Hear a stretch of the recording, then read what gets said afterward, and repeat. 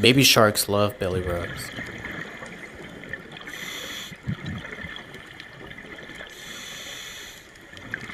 Would you give a shark a belly rub?